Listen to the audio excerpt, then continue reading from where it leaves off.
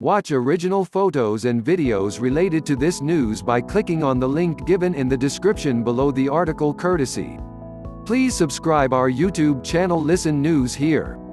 If you like the video please like, comment and share the video.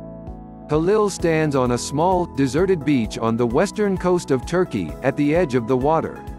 Look, it's so close, he says, but reaching it is so hard.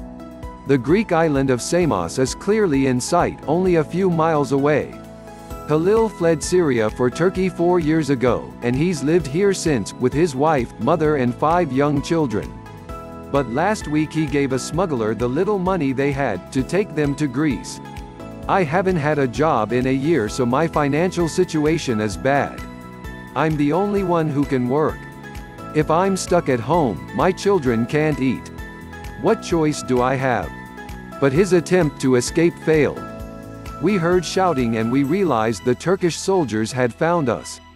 They captured all of us, they didn't let anyone escape. During the 2015 migrant crisis, Turkey struck a deal with the European Union. It agreed to stop refugees from reaching Europe in return for billions of euros. For years that deal has held, with Turkish guards policing the borders and patrolling the sea. But on Thursday night, following the killing of dozens of Turkish soldiers in an airstrike in Idlib, Turkey said it was opening its western land and sea borders to allow migrants and refugees to travel on. Turkey has taken in 3.7 million Syrian refugees since the start of the war. For months President Recep Tayyip Erdogan has been threatening to send some of them to Europe unless Turkey gets more help in Syria. The refugee crisis is growing, it's getting worse, his chief advisor, Ibrahim Kalin, told the BBC. For many European countries their approach seems to be that as long as they don't come our way, they don't come to our cities, it's somebody else's problem. Turkey is coming under increasing pressure. There are nearly a million people stuck along its border with Syria, who have been displaced by the recent fighting, and whom Turkey won't let in.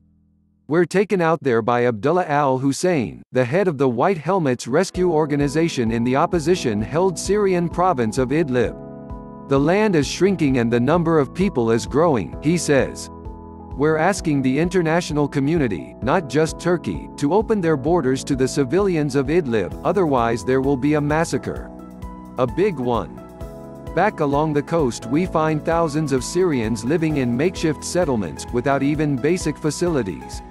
They are exploited for cheap agricultural labor.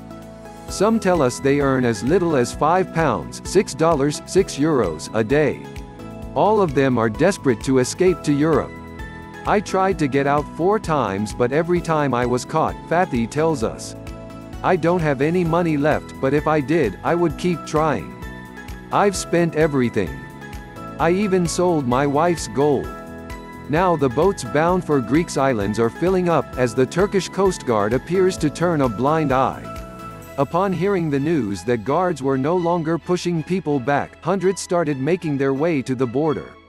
There are networks of smugglers, primed and ready to take people across.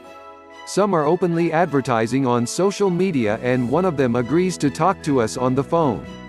We send about two or three boats a day when the sea is calm, he tells us. We're not being watched as much at the moment, he says. It's not as risky to cross. The Turkish government has said there has been no change to its refugee policy, but that the influx of migrants from Turkey towards Europe may continue if the situation in Idlib continues to worsen. Greece has stepped up police patrols at its border checkpoints, but for now the road to Europe looks easier. Halil is determined to try again. I'll do it all over again, until I get out, he says as his mother bursts into tears beside him. You don't want him to go. I ask. Oh, let him try, he can't feed his children here.